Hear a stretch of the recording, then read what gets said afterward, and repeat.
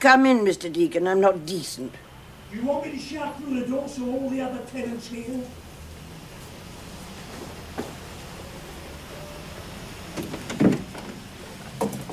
Forgive the mess. I haven't had a minute all day.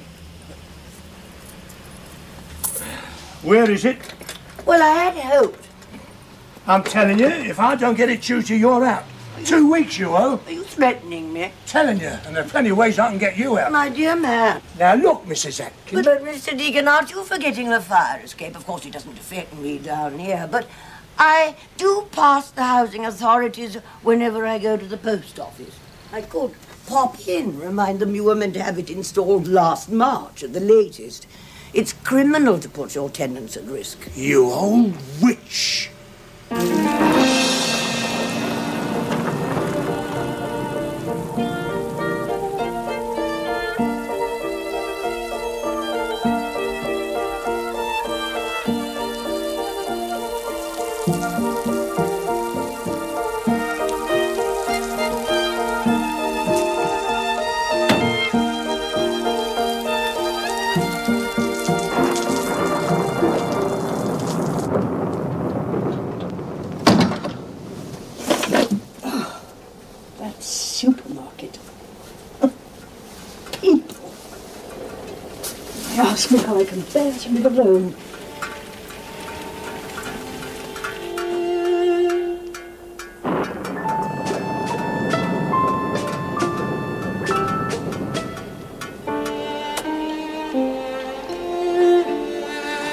Another double's empty. Good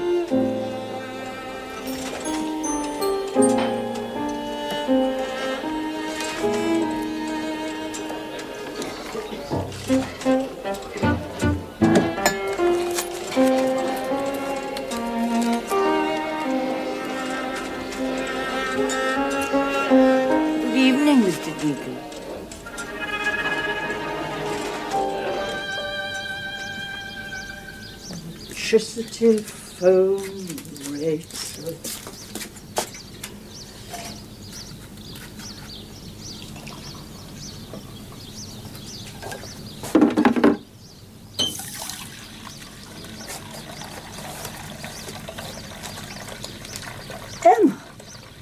Oh, Lord. And I forgot her birthday. She'll think I'm dead.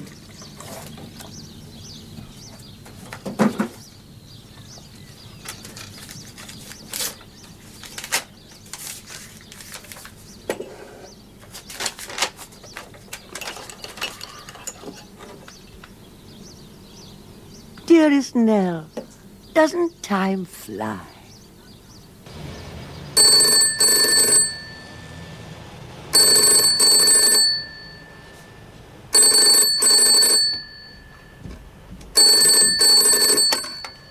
Yeah? May I speak to Mrs. Emma Atkins, please? Oh, no. What? I'll have to go down. Hang on. Funny.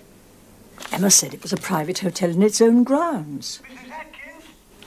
Perhaps he's the caretaker. 75, 22, 34, electricity 62. She's on her way. Oh, thank you. £159.34. Phone? For me? What a surprise. Hello? Emma? Nell? Nell Bridges. Nell? I'm so sorry. What must you have thought forgetting your birthday? Thank goodness you put your new telephone number in your letter. Anyway, many, many happy returns, dear Emma. And how are you? Oh, I'm fine, dear. Flourishing. That's marvellous. Because I've been thinking, Emma. I've had an idea. I, I can't explain on the telephone, but look, why don't you come down for the weekend next Saturday? Weekend? I'd love to, Nell. What idea? Oh, um, just a thought.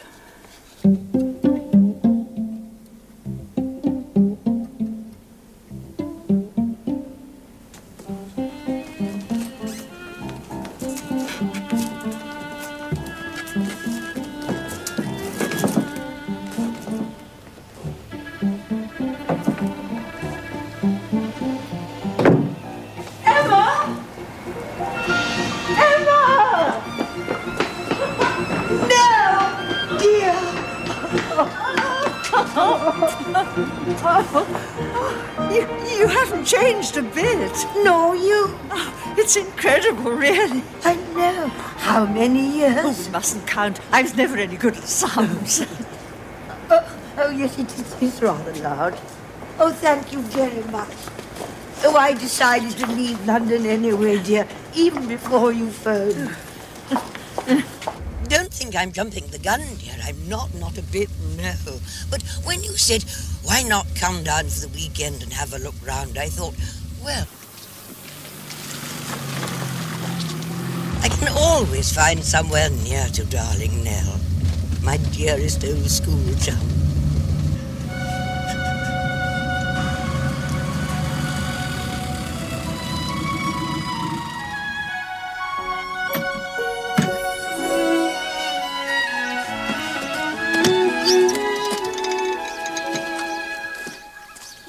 Perfect.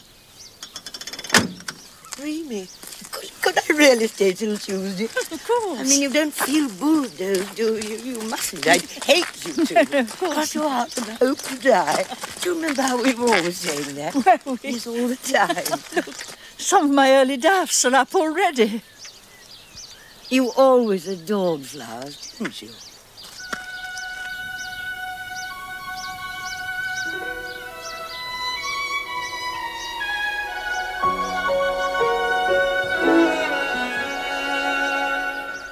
Even if it doesn't suit us to share your lovely home. And after all, it may not, dear. No strings attached. I don't think either of us should feel bound either way, do you? Yet. The fact is, the older one gets, the more one treasures one's privacy, don't you find? Oh, quite. I wouldn't intrude at all, dear. Elder Elderflower. Elderberry. And as you said, it is quite self-contained, isn't it, up there? Oh, yes. But I thought you liked your private hotel. Oh, I did. But then again, I mean, a hotel isn't a home, is it? No, but, What were you thinking of charging? well, you, you may not like it. I mean, it's very different from London down here. Oh, I'm sure I shall. One grows out of big cities, I find. We look. May we? I'm, I'm so excited. Oh, really, silly me. Don't expect too much.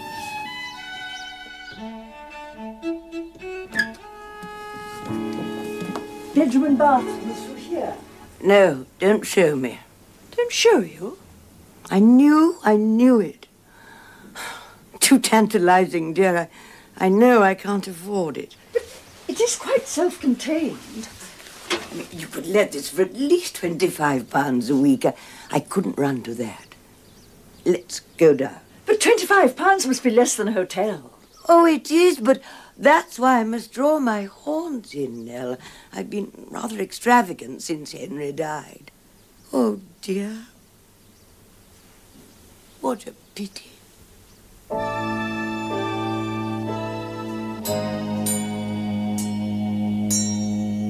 I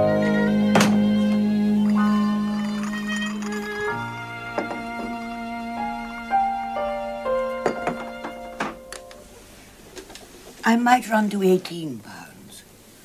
But twenty's basic, really, Emma. I mean, the rates alone. Perhaps I could get some babysitting locally. Oh, perhaps. No, do say, Nell. I mean, I'll understand. If you don't want me. No, no, dear, it isn't that. No, just horrid, horrid money. The fact is, you're out of my range now, Nell. Well, I suppose eighteen pounds would help. Oh, the idea of a stranger. No, Nell. You must be realistic. You won't know I'm here, Nell. I promise. Well, I think I could babysit Mr. Brown, but it depends on Nell. I don't drive, you see. I'll run you back.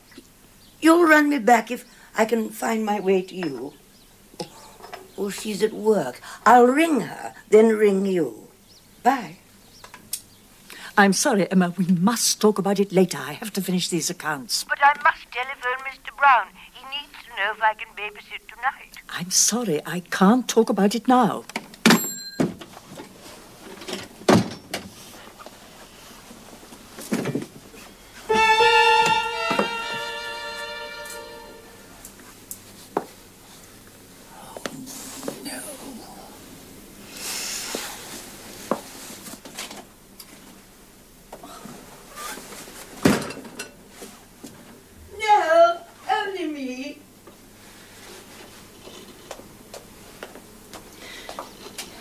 Borrowed my cheese?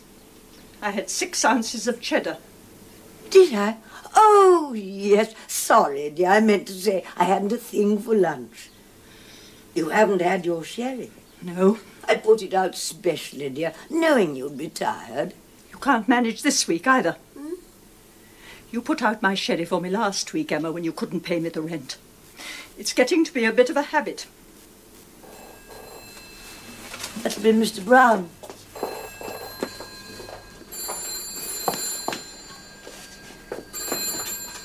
No, Bridges, yes. It's Mr. Brown. May I speak to Mrs. Atkins? Hold on. You were right. It's about the babysitting. He'll run me back. But I said, I'd run you there. yes. Oh, well, I'd earn five pounds, dear. All for you. Hello, you there? Hello? Yes, yes. Look, if you want Mrs. Atkins to babysit, you can pick her up yourself. I'm not running anybody anywhere. No. What will he think? He can think what he likes. It's too bad, Emma. First the cheese, then no rent. Now this.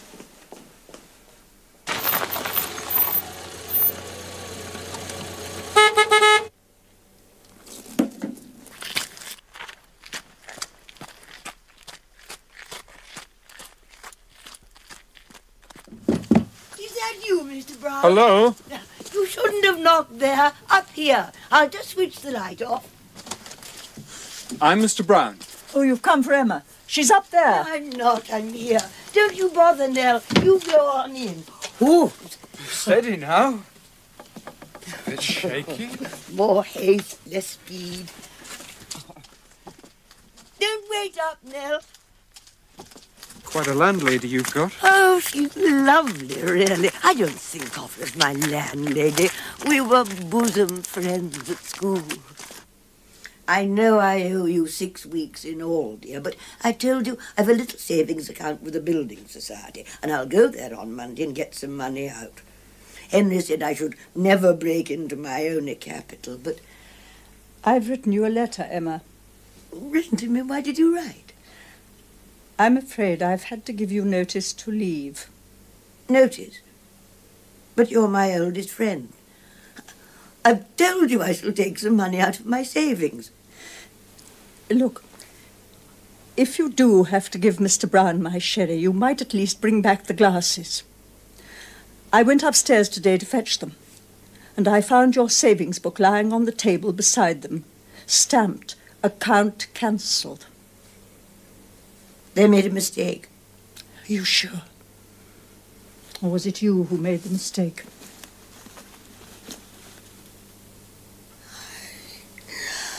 I did have an account. But then I kept on dipping, you know, I had to. And then they closed it. Oh, Nell. What must you think of me? Are you so badly off? I've no one else to turn to. Please, Nell. Give me one more chance.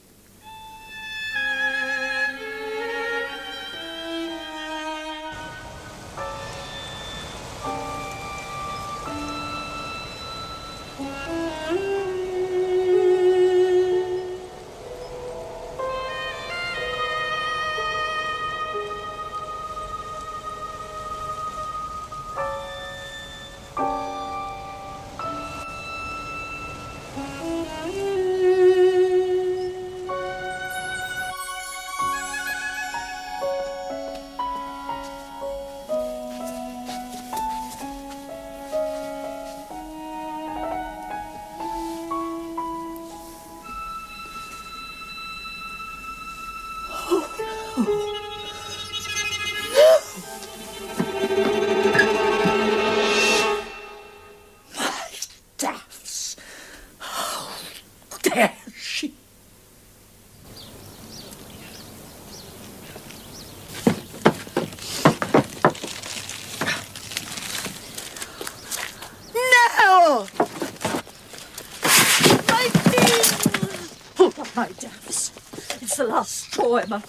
sorry, it's all been a terrible mistake. I ought to have known I valued my privacy. It wouldn't be so bad if you could pay your way. I do my best. Take my food. You pull up my bulbs so that they won't increase next year. You owe me six weeks' rent. Do you realize, or do you? I don't believe you do. It's sorry, Emma, but it's got to stop. I don't like saying it, but it has. Are you evicting me, dear? I am asking you as a civilized person to go, that's all. Throwing my things into the street. It isn't a street, it's a garden. No, this isn't like you, Nell. It really isn't. It is, it's how I feel. you. you're kind and generous. You can't I. Let me make you a cup of tea. And we'll talk it over sensibly. And if we decide I'm to go, I shall go. Nicely. Not like this, not in the heat of the moment. After all, you asked me to stay. I did warn you it might be too much for me. I knew, as a matter of fact, that once I agreed to stay, the onus would be on you. The law being what it is, the Rent Act, the rights of tenants. I mean, you just can't throw your tenants out into the street. And rights, you're quoting the law. I don't really understand about these things, but Mr. Brown does. Perfectly.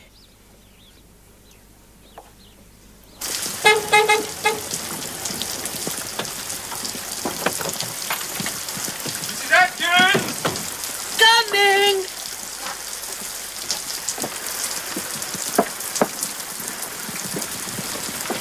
Oh, are you all right, Mrs. Atkins? Get that fixed. All right?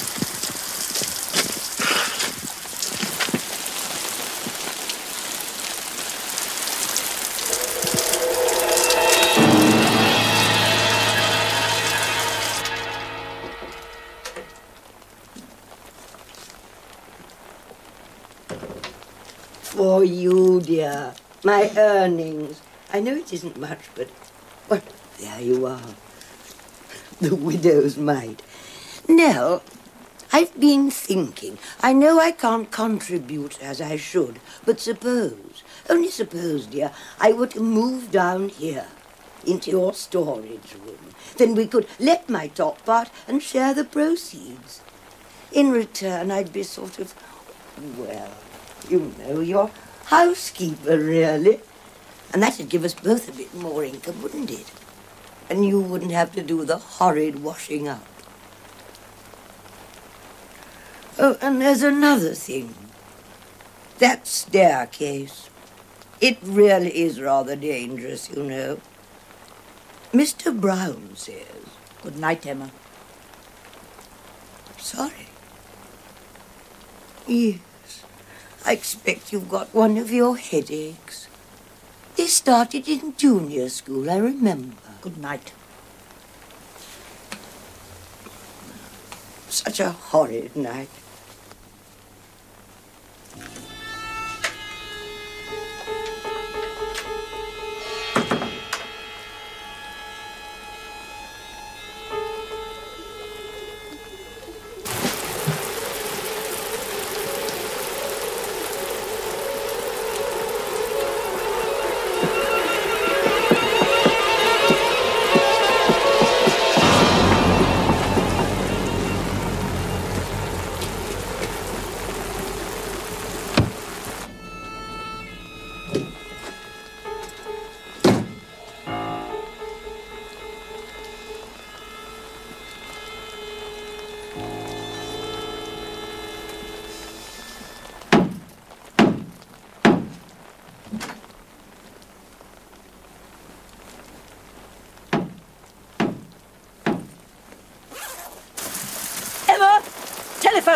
Telephone! Telephone for me at this time of night? Hurry up, long distance. Gosh! Ooh!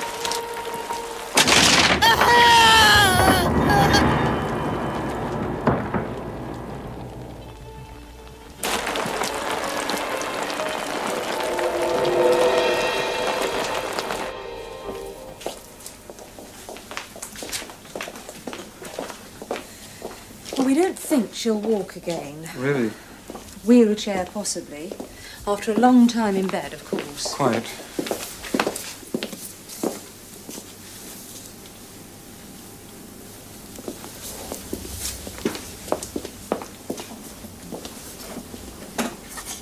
Mrs. Atkins? Mrs. Atkins, there's a visitor for you. Mrs. Atkins?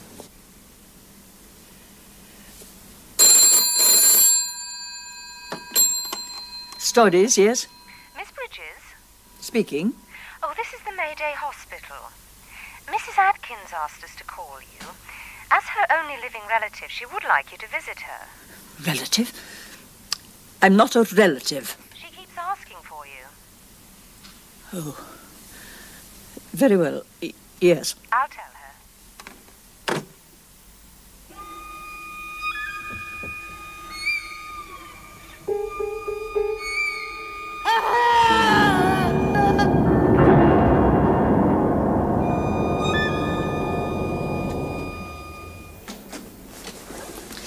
Here she is, Mrs. Atkins. No, dear. Emma? I expected you were here every day when I was unconscious. Three weeks. The bills are enormous. I don't know what we're going to do. Bills? But this is national health. No, this is a private ward. My first treatment was free, but not now, not here. That's why I needed to see you. But surely you're entitled to free treatment under the National Health Service. No, Mr. Brown insisted I be treated in a private ward. He said it was the least I deserved. He's very legal minded. Is he? Then it'll be up to him to pay. Apparently not. He says that as my landlady, you should have had those stairs made safe, you see, and it's up to your house insurance to pay. Accidents to third parties. He thinks it's a clear-cut case. Haven't got third party insurance, Emma, so it won't work. Now, that's what I thought. I said to Mr. Brown I didn't think you had that sort of insurance. It's going to take about a year to put me right. You mustn't worry. What I do is sue you, dear. Nothing personal, Nell. Just a legal thing to get the money. You do see. Sue me? Oh, don't be absurd. What can you mean? It's quite normal in such cases, he says. But I've nothing, do you hear? Nothing. But of course you've got something, Nell, dear. Well, you just try. You just try. Your cottage for a start. There's no mortgage on that, is there? And your car. And your annuity for when you retire. I won't listen to you. But you must. It's only fair. You must help. Or else look after me for the rest of my life. One or the other. Because you knew those stairs were dangerous, didn't you? Didn't you, Nell? In fact, I've sometimes wondered if you didn't help them along a little. Push, not aloud. I haven't wondered it loud. I could. I shan't. It's just one of those nasty little thoughts I sometimes get when I'm alone. No, none of that matters. Not even the insurance. Horrid. No. Just so long as you look after me, we'll be together now. For always. Bosom friends, sharing our every secret. Oh, no. No. You mean yes, dear? Yes.